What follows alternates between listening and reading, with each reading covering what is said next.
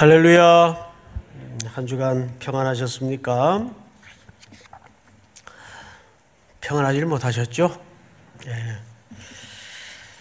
예, 여러 가지로 또 우리의 예, 마음을 놀라게 하고 또 우리의 마음을 혼란케 하는 일들이 온 세상에 가득 어, 차 있습니다.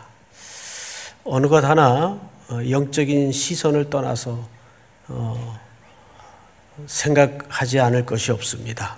우리는 이럴 때일수록 더욱 주님께 우리의 모든 의식과 삶을 집중할 수 있어야 되겠습니다.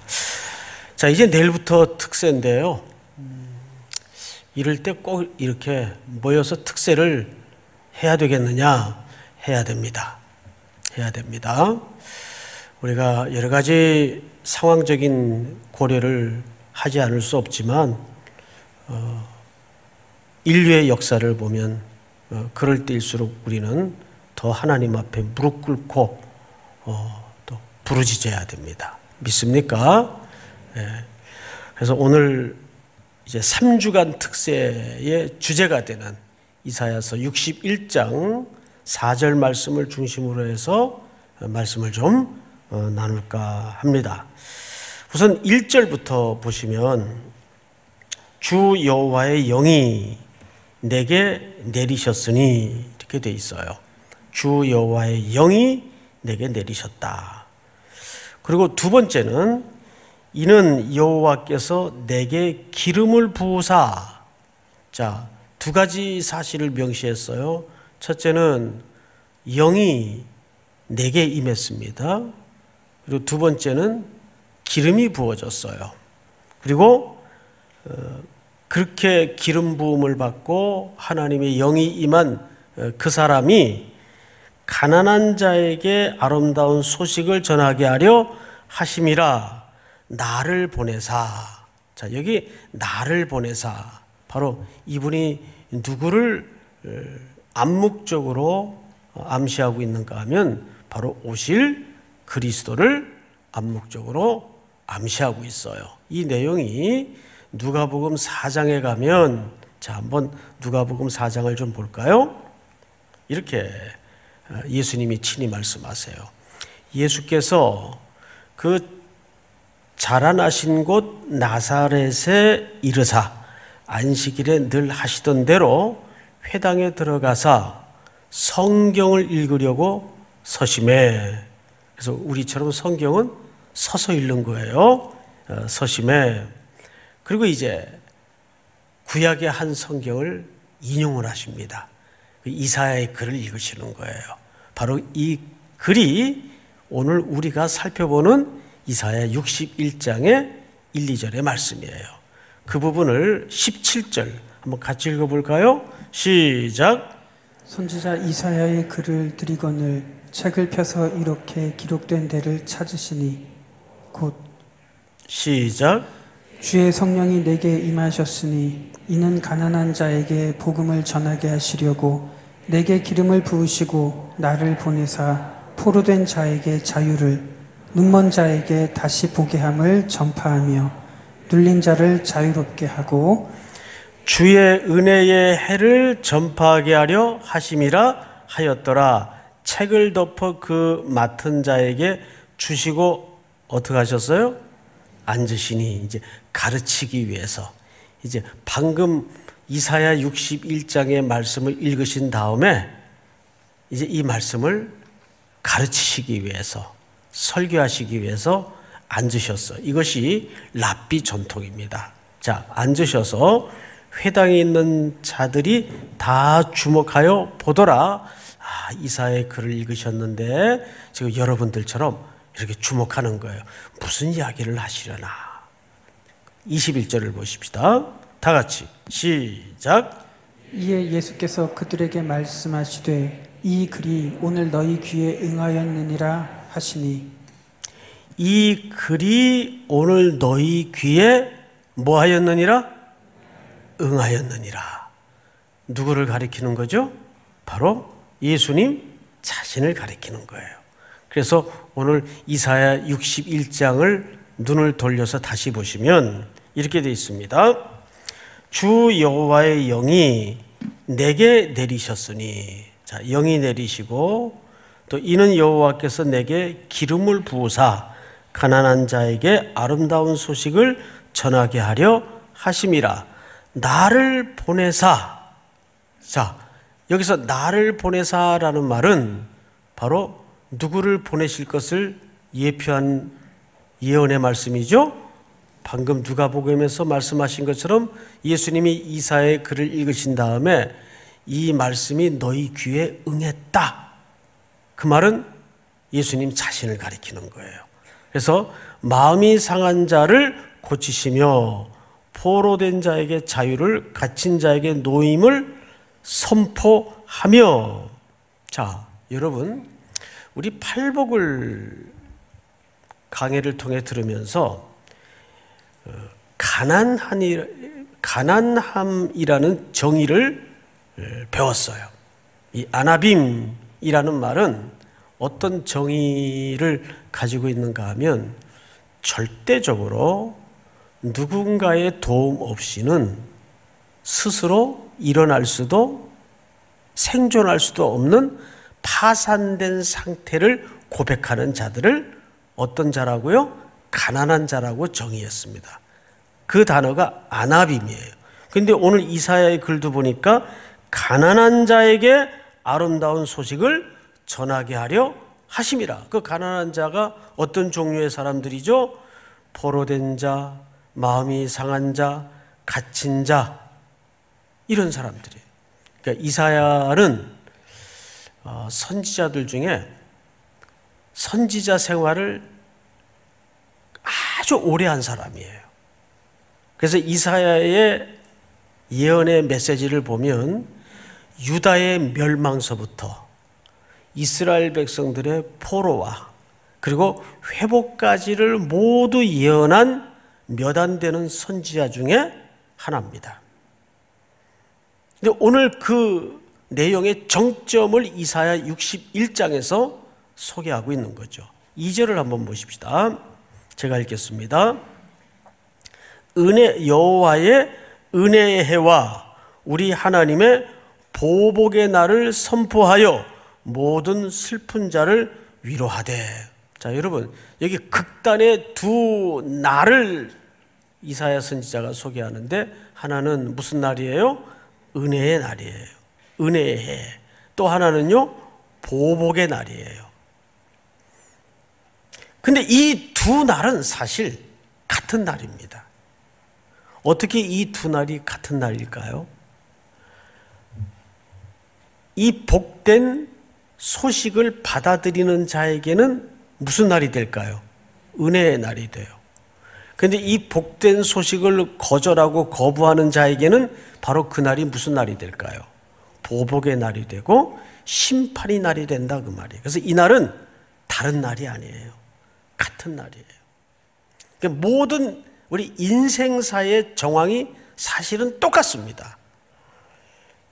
이런 엄중한 시대에도 이것이 어떤 이에게는 은혜로 바뀌는 기간이 되는가 하면 어떤 이에게는 말 그대로 질병의 공포와 두려움에 자멸되는 인생이 있을 수 있다 그 말이에요.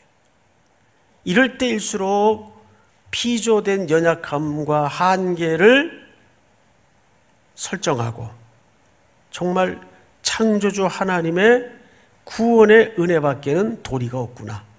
이렇게 나가는 사람이 있는가 하면 오히려 이 질병의 공포와 두려움에 짓눌려서 소멸되어 버리는 어, 지금 이구동성으로 가장 많이 사용하는 단어와 언어가 위기라는 단어입니다. 위기. 어, 그 말이 틀리지 않습니다. 위기 맞아요. 지금 아 이거 위기 아니야. 이렇게 말하는 사람도 그건 정신 나간 사람이죠. 위기예요. 근데 어쩌면 이 위기는 명확한 위기입니다. 코로나라는 질병이 우리에게 위기감을 줘요. 근데 이 위기는 무슨 위기라고요? 어떤 의미에서는 명확한 위기예요. 왜 명확한 위기일까요? 백신이 개발이 되고 마스크 쓰고 방역 잘 하고 질병을 퇴치하면 극복하면 해결되는 위기예요. 그런 위기에서 코로나19라는 위기는 명확한 위기입니다. 진짜 위기가 뭘까요?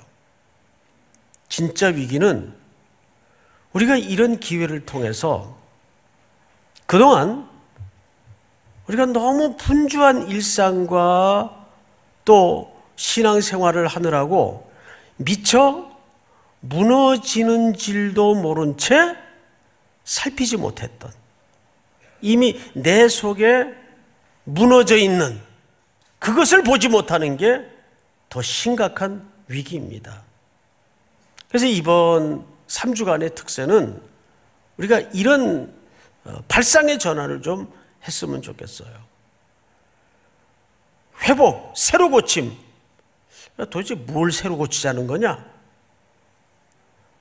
우리가 옛날에 빽빽이 앉아가지고 다시 마스크 없이 방역 과정 필요 없이 원래 일상으로 돌아가는 게 우리의 목표여야 하느냐?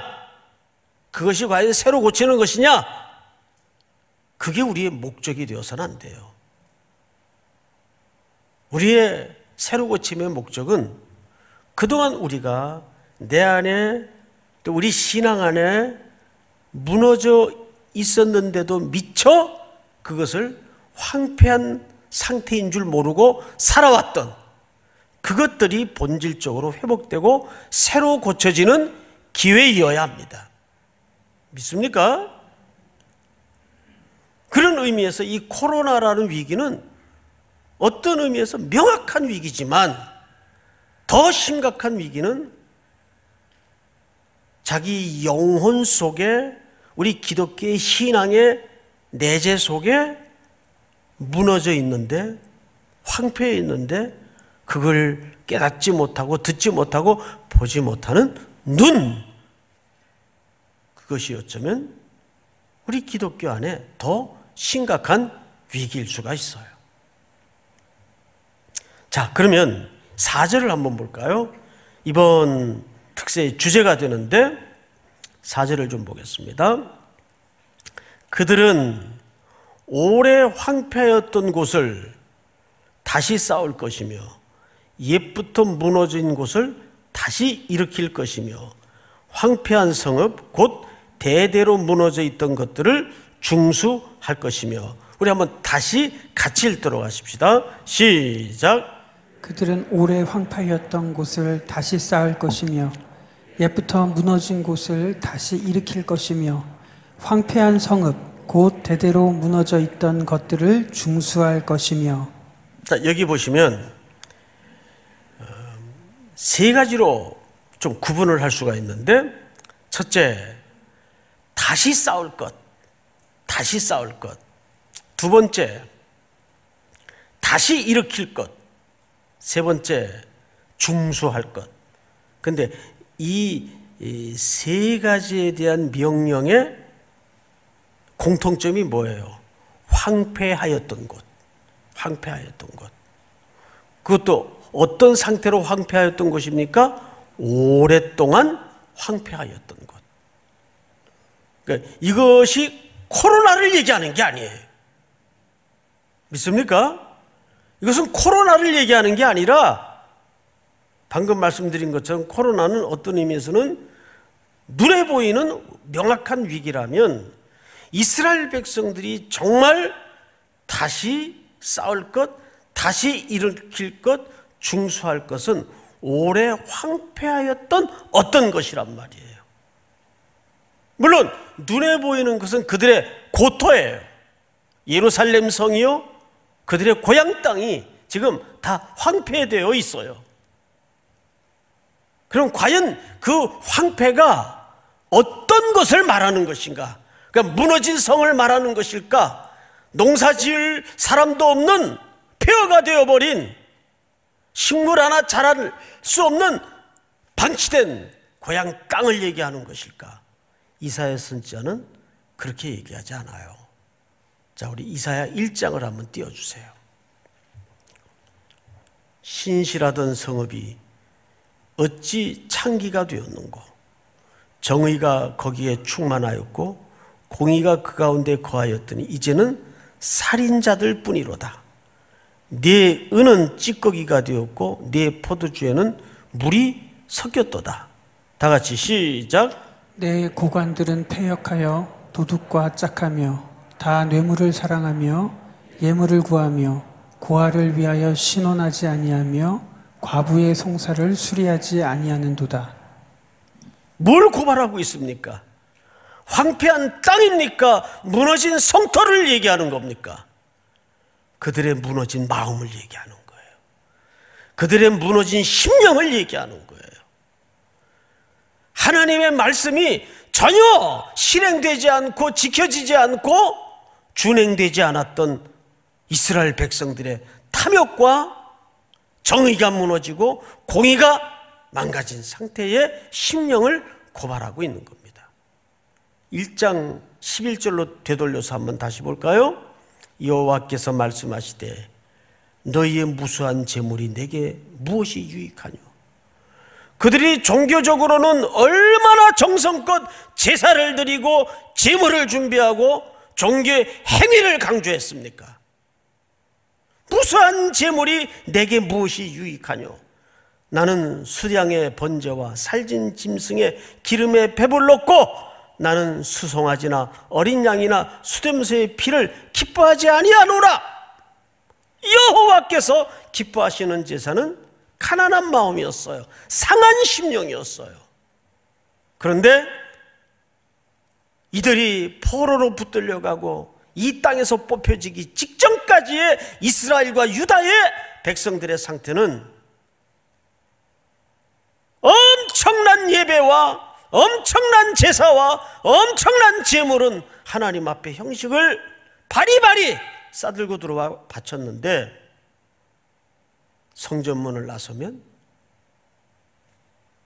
전혀 과부를 돌아보지 않고 정직을 실행하지 않고 그러니까 구약을 매듭 짓는 말라기 선지자는 이런 처절한 글을 썼어요. 말라기 1장을 한번 보십시다. 다 같이 시작. 만군의 여호와가 이르노라 너희가 내 제단 위에 헛되이 불사르지 못하게 하기 위하여 너희 중에 성전 문을 닫을 자가 있었으면 좋겠도다. 내가 너희를 기뻐하지 아니하며 너희가 손으로 드리는 것을 받지도 아니하리라. 아멘. 말라기 선지자는 뭐라고 우리에게 애토한 마음으로 이 글을 남겼을까요? 하나님은 그렇게 삶, 삶의 순정 없이 종교적인 형식으로만 가져오는 그 예물에 실어버린 바가 되었다. 그거 그만하자! 성전문을 누가 닫았으면 좋겠다. 성전문을 닫을 자가 있었으면 좋겠다. 그리고 침묵의 400년이 지나갑니다. 성전문은 닫혀요. 얼마나 무시무시한 얘기입니까? 이스라엘의 황폐는 바로 여기에 있었어요. 그 본질이.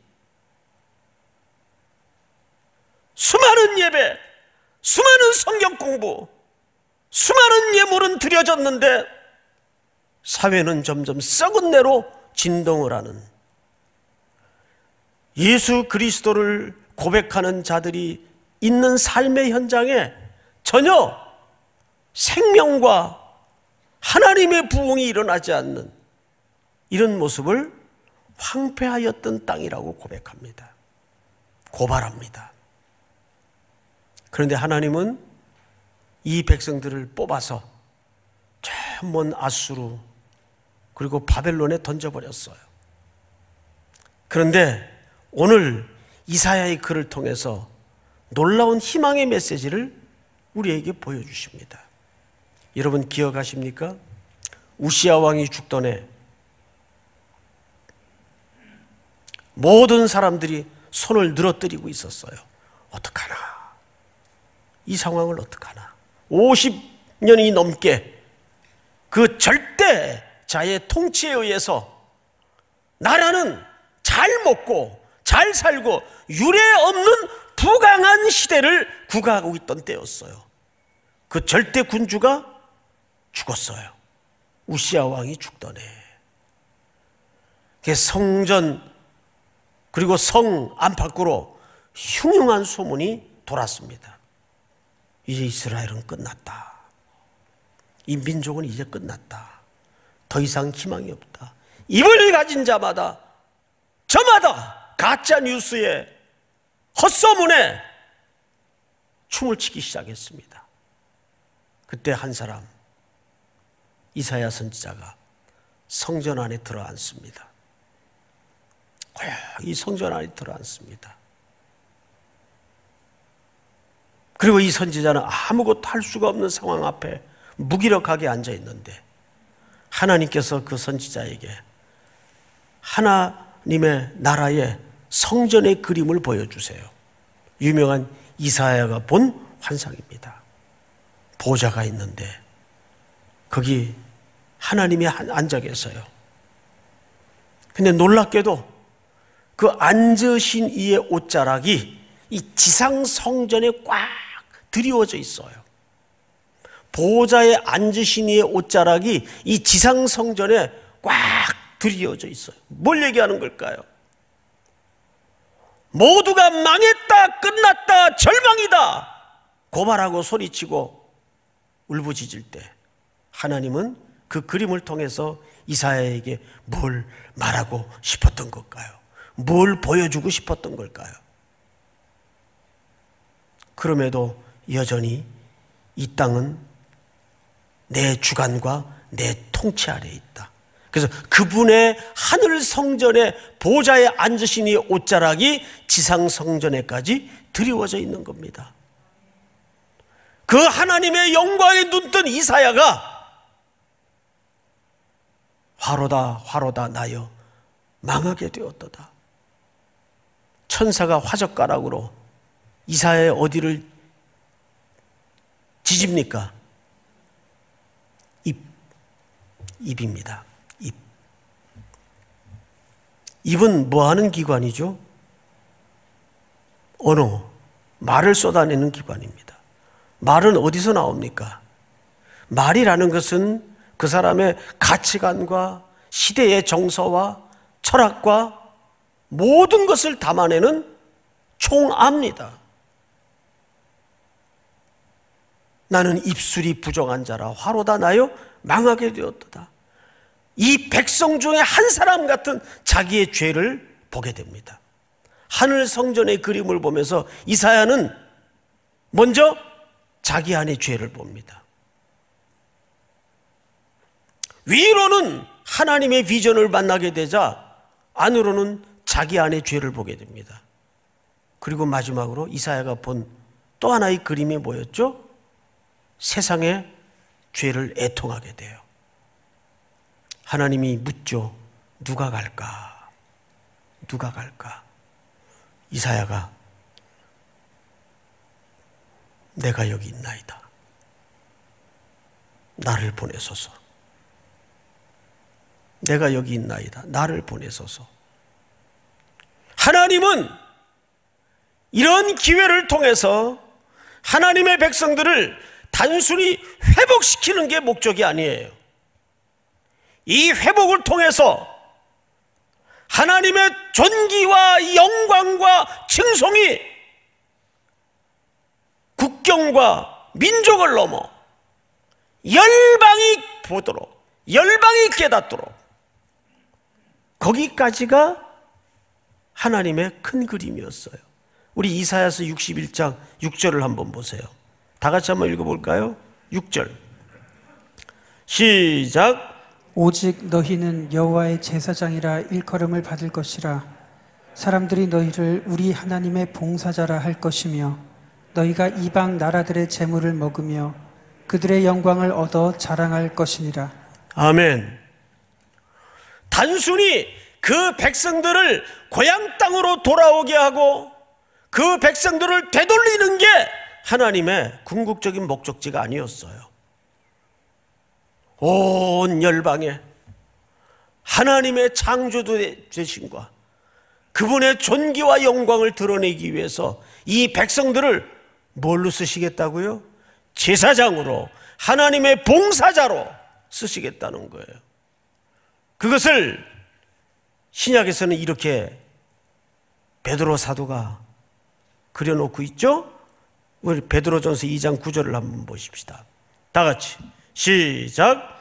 그러나 너희는 택하신 족속이요 왕 같은 제사장들이요 거룩한 나라요 그의 소유가 된 백성이니 이는 너희를 어두운 데서 불러내어 그의 기이한 빛에 들어가게 하신 이의 아름다운 덕을 선포하게 하려 하심이라. 아멘. 여러분 이 사실과 이 약속을 믿으십니까?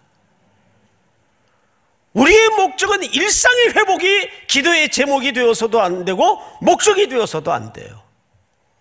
여전히 이 어목한 시대 속에서도 복음은 필요하고 교회는 필요합니까? 안 합니까? 필요합니다. 원래 우리 특세를 왜 했죠?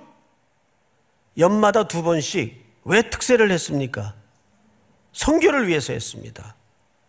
근데 성교 못 가네요. 어떻게 하면 좋겠어요? 발 다 묶여 있는데. 보통 우리가 이해하는 선교는 국경을 넘어서 국경 지대를 통해서 다른 지역으로 이동하며 하는 선교입니다. 그럼 이제 선교 못 하잖아요. 그래서 마지막으로 우리는 이런 상황이 올 줄은 누구도 예측하지 못했지만 이번 기회를 통해서 우리의 선교의 개념도 이제는 달라질 수밖에 없어요. 그렇다고 인류가 복음이 필요하지 않는 건 아니잖아요. 이 땅에 교회가 필요하지 않는 건 아니잖아요. 나는 이런 시대에 누가 교회를 올까? 오더라고요. 여러분 매주 등록하는 새신자 주보 보세요? 안, 안 보세요? 보죠? 오더라고요. 스스로 오는 사람이 많더라고요. 그럼 어떻게 해야 될까요? 우리는 원래 이 특세를 선교 직전에 선교를 준비하기 위해서 해오던 특세입니다. 이번에도 장로님들하고 이 특세를 이런 상황에 해야 되나 말해야 되나 사실 고민을 좀 많이 했어요. 그런데 하기로 작정한 이유가 있습니다.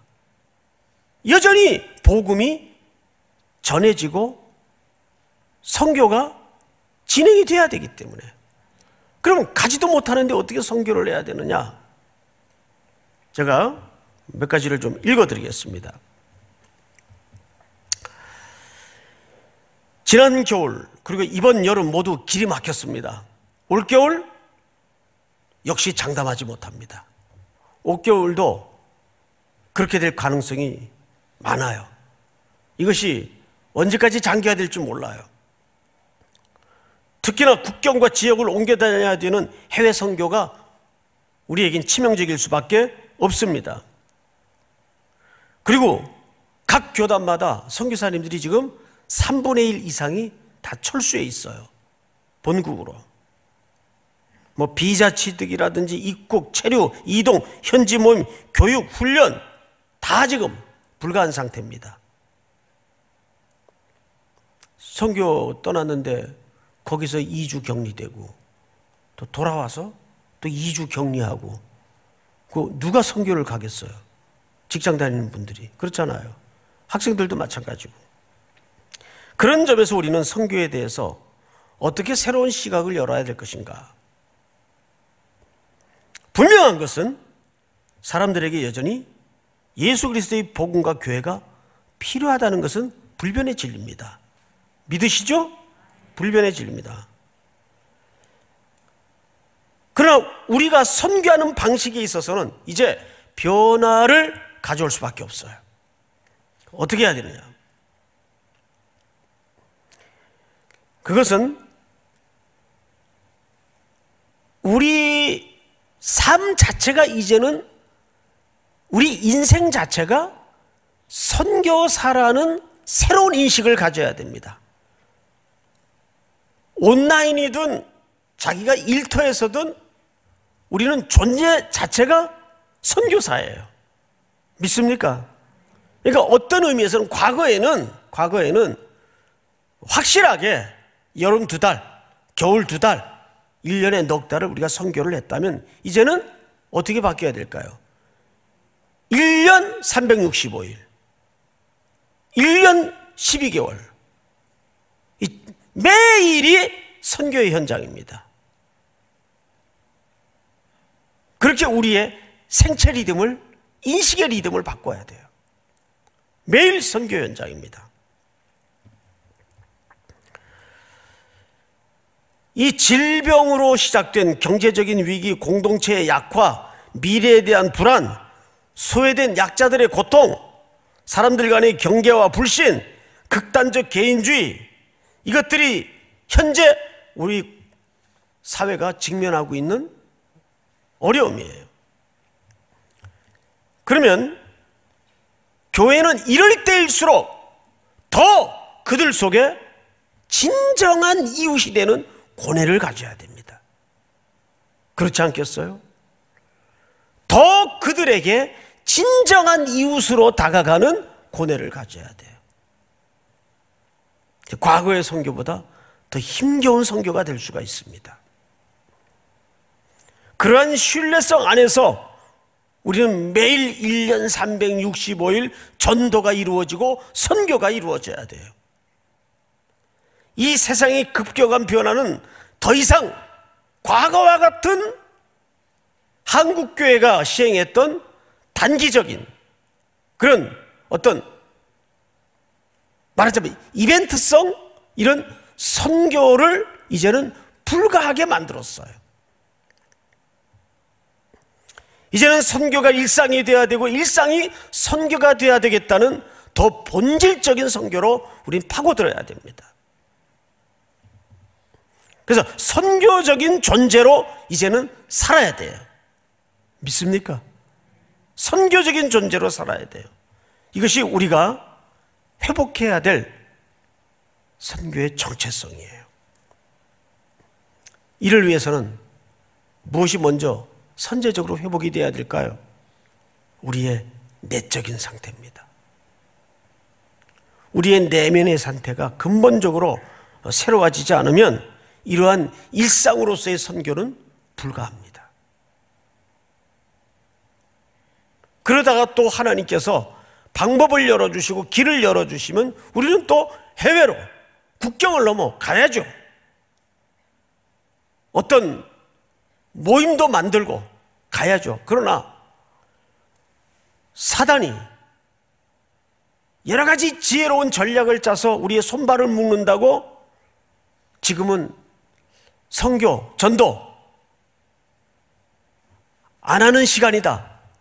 이렇게 넉넉히 있을 수는 없잖아요. 묶이면 묶이는 대로 해야 돼. 사도 바울 보세요. 감옥에 묶이니까 묶인 채로 자기를 감시하는 네 명씩 감시하는 16명의 병사들에게 지긋지긋하게 복음을 전하는 거예요. 그러니까 바울에게는 묶여 있는 것이 중요한 게 아니고 갇혀 있는 게 그렇게 중요한 문제가 아니었어요. 묶여 있으면 어떻고 갇혀 있으면 어떻고 풀려나면 어떠냐? 이 모양이든 저 모양이든 내가 처한 상황에서 복음은 나아가게 돼 있어요. 복음은 생명이기 때문에 믿습니까? 이번 3주간의 특세를 통해서 우리는 이런 회복이 우리 교회 안팎에 새로운 시각으로 열어지는 은혜가 있기를 주의 이름으로 축복합니다.